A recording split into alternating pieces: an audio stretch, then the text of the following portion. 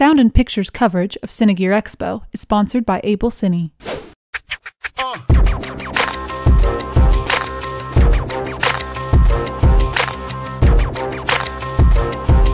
I'm Lauren Moore with Sound and Picture at Cinegear Expo 2013. We're at the Rotolight booth. I'm here with Mark, who's going to talk to us about the new Nova 6 light rig. Oh, you got that perfectly. Thank Real you. good. Hey, Mark, Mark here, RTS, distributor of Rotolight products in the U.S. Real unique product here. You've got an LED light that is really unlike anything else on the market. First of all, we have six individual pizza pie shaped of LED boards. You have true control of color temperature from 3150 to 6300. You also have true control of the brightness of the light from 0 to 100%. Now you can operate this three different ways. You can power it three different ways, either by plugging it in and it utilizes direct current. Therefore, we do not utilize what they call wave pulse modulation.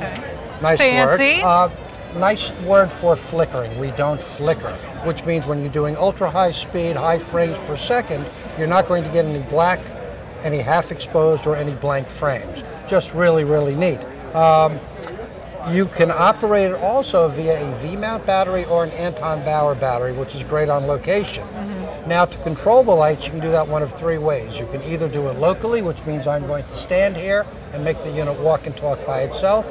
You can operate it via a DMX board, and the unique nice thing about this when used in DMX mode is each individual ANOVA can drive 512 third-party lights. Wow. Well, we're telling the photographers you don't have to throw away all those lights that you've worked hard for and you really, really like. You can utilize them using the ANOVA. That also means you have multiple studios. All you need is one ANOVA to drive all of those other lights. However, the coolest way to use this is via the new Wi-Fi app because each ANOVA generates its own proprietary Wi-Fi signal. And here we are at Cinegear, Paramount Studios. I am not dependent upon a Paramount Wi-Fi signal. Because each ANOVA generates its own proprietary Wi-Fi signal, I could be in the Antarctic, I could be in a desert, I could be in a tropical rainforest, and I could operate my lights completely wirelessly and Wi-Fi. Now I know you have a question on the app.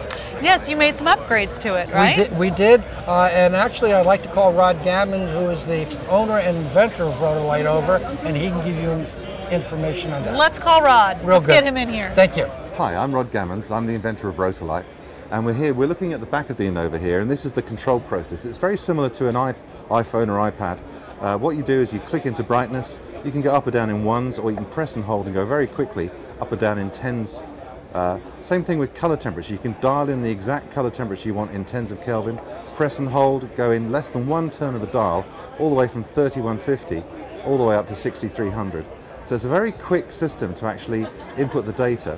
What we allow you to do to control this, you can either do it locally with the knob here, via DMX using a channel for brightness, a channel for color, uh, or we've invented a new kind of Wi-Fi system for these lights. You can network up to 256 ANOVAs, and off the back of each ANOVA you can hang existing third-party lights like ARRIs, Kinoflows from the DMX out. So each light creates its own wired local DMX universe. Now I've just put the light into Wi-Fi control, and I'm going to show you basically the back of the app now, and you'll notice that the app looks almost exactly like the light and I'm actually controlling the light now. So I can dial up the, the brightness. If I double click I've got the fast mode so I can go very quickly up and down maybe we should put the light this way round in the background so you can just see it doing stuff so there's the, the brightness going up and down real quick same thing with uh, color temperature so I can go in tens of Kelvin which is very subtle or I can double click and go all the way up to the blue end of the scale all the way down to the orange end of the scale really quickly We've got a power fade down button, so you can see the light fading down. Power fade up.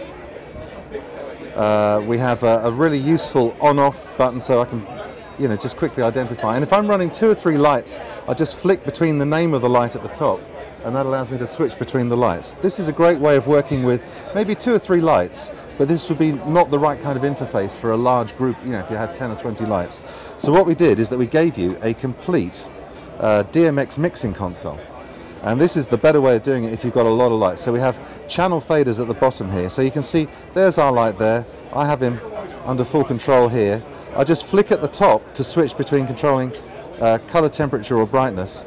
And the color temperature is actually grouped. I don't know if you can see the grouping, but I'm going to move the grouping up and down. You can see there's a whole bunch of uh, lights moving with that. So he's one of the group, and you can see that moving. All the way through, I've got instant access to my power fade down button. And there's our master fader going down, power fade up. I've got a master cut button, that's an instant blackout for the entire lighting group. Uh, so it's a really useful app. Once you've created the scene that you want, you can store the scene in the little scene memory device. So we just find an empty scene, store it in the scene memory, and then we have a little uh, playlist here. So if we go to the first event in the playlist, this is where I can actually put uh, lights, uh, sorry, scenes together. So we're going here from scene one to scene two, over seven seconds, and the colors are managed separately. So I can actually crossfade the colors or choose to switch the colors at the beginning of the transition or switch the colors at the end of the transition. So this is the first transition. It's actually a fade up and you can see the lights actually performing that at the moment. If I now key the second transition, so basically you can create a full production playlist. Here's the second transition. This one is actually a, a color change. You can see the group of colors are changing and actually the light is following that as well. So you get the idea. This allows you to do it. Now if that's a little bit small to work with, uh, then we've created a big version of that page so you can see, you can have a lot more detail. So this is the big scene designer page. We've got a lovely big uh, playlist line now and you can directly edit the actual uh, uh, uh features in each panel so you can select the scene, the duration, the color control method. You've got a lovely uh, list of all the scenes you've got stored. You've got direct access to scenes here. You just double click on them. Um, so it's a really nice, useful system. All of the data for your project, which is all the all the all the events, all the scenes, all the fader patching, um, is stored in the project files, and you can keep numerous uh, projects together. So here we've got about five different film projects, and I just skip through and select the, the one I want to work on, and it reconfigures everything. And the great thing is if I go to, if I did 10 days of pre-production here in Los Angeles, and maybe then flew up to uh, New York to do the shoot and hired 10 different lights, all I have to do is to go to the matrix page, and that allows me to completely repatch the, uh, the whole rigging of my lighting rig. What happens is that the new lights connect to the iPad, and then you just press and hold on the name in the channel, and a list of available replacement devices come up that you can just substitute into that channel. So all your scenes remain named the same way, but you just actually use the different lights and they'll perform exactly the same scenes that you just set up. So it's a very, very powerful system. This is the new HD version of Magic Eye, the app for the Rotolight Anova. Thank you so much, Rod. For more information on this product and others, please feel free to visit rotolight.com.